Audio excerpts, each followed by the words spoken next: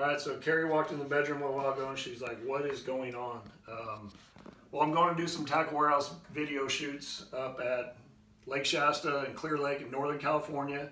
Cody Meyer, a real good buddy of mine, we're going to get together, make some good, hopefully some good fishing videos and uh, have a lot of fun. But I had to put my shorts away. It's time for denim, long pants, um, and kind of get my winter yes, it does get cold in California in winter. Everybody's like, oh yeah, you guys are just wearing flip-flops on the beach all day. No, it gets cold. Could snow, could have some ice. You never know. I mean, Northern California, you're up there in the mountains in Shasta, and like I said, it does snow, so I want to be prepared. Um, I got my Pact pants for layering over my jeans. Um, I got, of course, my Adder vest and my Adder jacket. I got one with the hood one without. Can't go wrong with, with those. Extremely warm, comfortable. Couple new things I got. Got a puffer jacket. This is pretty much brand new. Uh, just got it a couple weeks ago. And a puffer vest, which I'm kind of into the vest thing nowadays. Um, so that's good layering piece. For kind of, this is a brand new jacket. It's called a boiler. It's kind of kind of old school. Got the elastic kind of those bands like we used to wear back in the shoot, early 80s and stuff like that. Really good insulation. It's got that kind of material like the uh, Adder jacket. So that's an essential.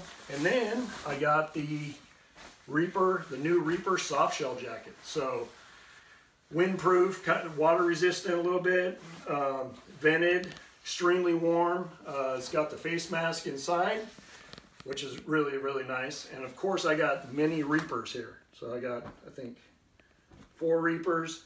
I do have one Shadow, which we're going to be doing some Daiwa stuff, so got to have that. That just, a Shadow just doesn't have the, the inner um, face mask deal in it.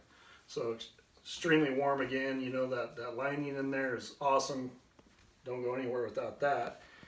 And then I got all my kind of long sleeve shirts, bunch of them. Again, layering is important because you can always take stuff off, but you can't put more on if you don't have it.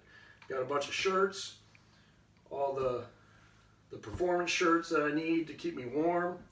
Um, oh yeah, I got my gloves. Got two sets of gloves. One for like running down the lake, one for fishing in.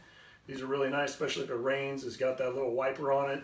And with all the touchscreens electronics nowadays, it has the capability to maneuver the screen because it's got the little the little finger deal where you can access the your electronics and you don't have to take your gloves off if it is cold. So that's cool. And then I got the new half dome beanie, which is kind of cool, really warm. Be wearing that. Uh, what else? Oh, last but not least, I got my Hydronaut. So I got the bibs, and I got my jacket. Oh, and I, forgot something else too. See, I got too much stuff to pack here. Um, I got the Hexatron. So these are actually joggers, which I'll be uh, kind of lounging around with Corey and Daniel after a long day of doing some vlogs. So they'll get to uh, see me in some joggers, which will be interesting. And then I got the Hexatron. This is another nice layering piece. Got the honeycomb in there, extremely warm. So put this all together and we won't have an excuse if we don't catch them. So uh, wish us luck. We're going to have fun. Um, hopefully we're going to catch some big spots, move down to Clear Lake, catch some big bass, and uh, hope you all have a great Thanksgiving holiday weekend. Make sure to check out Tackle Warehouse for any kind of you know Black Friday sales, things of that nature.